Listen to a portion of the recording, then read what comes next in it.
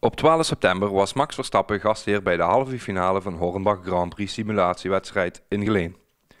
Het event startte om 3 uur en een geruime tijd ervoor was het al aardig dringen om de juiste plek te scoren. Tijdens de halve finale van het event namen 26 virtuele racetalenten het tegen elkaar op om een plek te verdienen bij de beste vijf. Die het in de finale niet alleen tegen elkaar opnemen, maar er ook geraced kan gaan worden tegen onze nu al legendarische raceheld Max Verstappen. Uh, ik ben Max de Bruin, ik kom uit Voorhout, dat uh, ligt dicht bij Leiden, dus dat is best wel ver hier vandaan. En ik uh, ben 18 jaar. Nou staan we in de Hornbach, hoe ben je hier verzeild geraakt? nou, ik hoorde van deze actie en het leek me eigenlijk wel een mooie, mooie kans om Max Verstappen ook eens in het echt te ontmoeten. En mezelf ook een beetje te meten, van ja, hoe, hoe kan ik eigenlijk op een simulator racen? Ik doe zelf ook aan, uh, aan autoracen. Dus, uh, en op een simulator is het toch een klein beetje hetzelfde.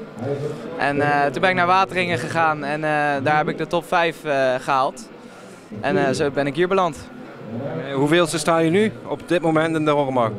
ik weet niet precies hoeveelste ik sta. Ik, ik heb niet echt de toptijd gereden. Ik hoor dat er heel veel in de 1,54ers zit en ik zit in de 1,57. Maar ja, het is niet anders. Het gaat erom spannen het gaat er wel om spannen, dat sowieso ja.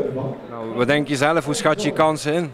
Uh, mijn kansen zijn niet groot. Dat, uh, ik ben er heel reëel in, maar uh, ik vind het al super om hier te staan. En dat ik bij de top 26 hoor, dus daar ben ik heel blij om. Meedoen belangrijker dan winnen. Zo is het. Okay. Het commentaar werd verzorgd door niemand minder dan Olaf Mol, die aansluitend een interview hield met Max. Waar ook fans en mensen uit het publiek vragen konden stellen aan onze nieuwe nationale held. Ook konden Formule 1-fans een handtekening scoren voor Max Verstappen en daar werd massaal gehoor aan gegeven. De signeersessie van Max vond plaats bij de merchandise truck en hier kon men niet alleen na afloop een handtekening krijgen, maar hier kon men ook t-shirts, patches, sjaals, posters en alles wat met Toro Rosso en Max Verstappen te maken had kopen. Kortom, de Hornbach Grand Prix simulatiewedstrijd is bij vele fans hartelijk ontvangen en hebben genoten van Max Verstappen. Want voor vele mensen ging het niet alleen om de virtuele wedstrijd te zien, maar ook om hun max te zien. Geslaagd meneer? Jazeker, tenminste voor de dochter hè. Wat wordt het? Een t-shirtje voor uh, Toro Rosso, voor haar. Zo'n grote fan, bent u fan of is uw dochter fan? Ik heb haar een beetje fan gemaakt. We zijn laatst nog naar uh, Spa-Francorchamps geweest samen. Ah, mooi. Dus uh, helemaal goed. En hoe vind jij het vandaag? Leuk. Ja? Ja. Oh, krijg je ook al een handtekening of ga je die dadelijk nog krijgen? Die ga ik dadelijk halen, als dat lukt. Daar gaan we vanuit, hè? Ja. Ik uh, ben aan het wachten op mijn handtekening. En vooraan al staan? Ja. Want? Ja, uh, mijn zus is er heel erg fan van en zij staat nog binnen. Dus ik dacht, dan ga ik alvast hier wachten. Even een plekje vrij houden. Ja. Verder maakten wij nog van de gelegenheid gebruik om Max Verstappen enkele vragen te stellen. Voor ons Max Verstappen Normbach. Um, 17 jaar, jongste coureur ooit. Hoe ga je om met die bepaalde druk? Best wel relaxed. Ik voel die, eerlijk gezegd die druk niet echt. En um, ja, denk uiteindelijk de eerste paar wedstrijden heb ik denk wel laten zien dat het de leeftijd natuurlijk niet uitmaakt. Je komt uit een racefamilie.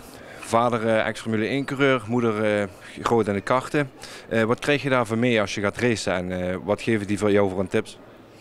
Nou, best wel veel natuurlijk. Ik ben opgegroeid met alleen maar races om me heen. Uh, dan zelf begonnen, alles samen met mijn, met mijn vader gedaan. Dus uh, ook nu is hij er nog altijd bij. Dus ik heb nog altijd, uh, kan ik nog wel tips krijgen van hem. Dat is een grote steun voor je, je vader? Dat zeker. Zonder hem zou, zou ik hier niet staan. Is het realistisch om te zeggen dat je dit jaar kampioen wordt of is dit gewoon een opwarmseizoen?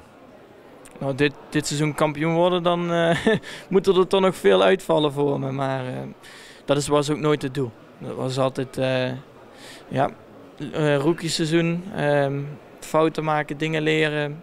En dan hopelijk in een paar jaar uh, dat we voor het kampioenschap mee kunnen doen. En hoe erg helpt de, de stimulator jou om het racen nog meer te beheersen? Nou ja, je leert het uh, beginsel altijd natuurlijk in karten en daarna maak je de overstap naar de autosport. En nu natuurlijk in de Formule 1 mag je niet meer buiten de, de races testen. Dus wij hechten natuurlijk nu heel veel waarde aan uh, de simulator. Daar doen wij zeg maar de setup waar we mee beginnen aan een, een weekend. Dus dan is het denk ik wel heel belangrijk. Um, je rijdt met nummer 33. Staat dat nummer nog ergens voor of heb je dat gewoon zo toegeschoven gekregen? Nee, dat mag je nu zelf kiezen. Maar mijn lievelingsnummer was altijd nummer 3. Maar die was natuurlijk al uh, in gebruik door Ricciardo. Dus ik dacht, nou ja, ik vind 3 sowieso wel een mooi nummer. Dus dan maken we er twee van. Je hebt Nederland warm gekregen voor de Formule 1 weer. Succes. in de carrière. Dankjewel.